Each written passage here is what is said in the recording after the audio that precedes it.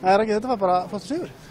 Þetta er mjög góð sigur. Uh, já, svolítið svona, svolítið varnar sigur aftur en hérna, við erum sterkir í vörn og hérna, það er svona okkar helsti eiginleiki þannig að við spilum að sjálfsög upp á það. Þú stóðu náttúrulega vel með það að þið voru ekki að gefa henni færi. Nei, þeir áttu nú hellinga fyrirgjöfum sem við svona ætluðum að reyna að stoppa. Þeir voru flinkir hann út á, út á köntunum. En við vorum alltaf með margin í tegnum og vel staðsettir, þannig að þetta var ekkert mál. Var þetta eitthvað sem áttu vona á kannski að þið var í þessu? Já, við vissum að þeir væri bara frekar svona direct og frekar basic í því sem þeir eru að gera. Þannig að við vissum að það kemur fullt af fyrirgjöfum og vorum búin að fara vel yfir það. Leikurinn í heilsinni, var, varst ekki mjög ánægður?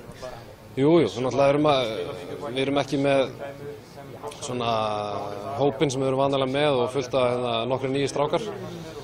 Þannig að ef maður tekur þetta allt saman þá var þetta bara frábær sigur. Hefur ekki svona eitthvað, eitthvað jákvægt að segja að þeir eru farin að vinna þessa vinnáttuleiki líka?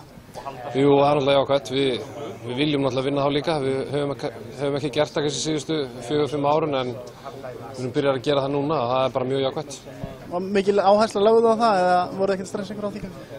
Nei, við töluðum ekkert um það. Ég held að það hafi kannski svona, svona eðlagt fyrir okkur í, í fortíðin að hérna, vera að tala um, tala um að við séum að tapa æfingarleikjum og þá förum við kannski með það að huga að fara inn í, inn í þessi æfingarleiki.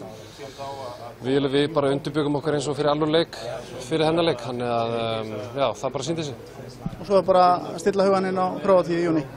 Já, og það eru, já, það er smá tími í það, þannig að við náum að, náum að hérna, aðeins að slaka á á milli, en hérna, hugurinn er samt alltaf við leik, að við vitum hvað hann er mikilvægur, þannig að við verðum tilbúinir. Þið getið lendi í smá pásu fram að þeim leik eftir að mótunni líkur hjá þér. Hvað ætlar að gera myndiltíðinni? Já, ég geti lengt smá pásum með að við hvernig hlutinir eru búin að verja mér í fúlam, en hérna, ég, mér fannst ég bara sína það þessum tveim leikjum að það skiptir enga máli.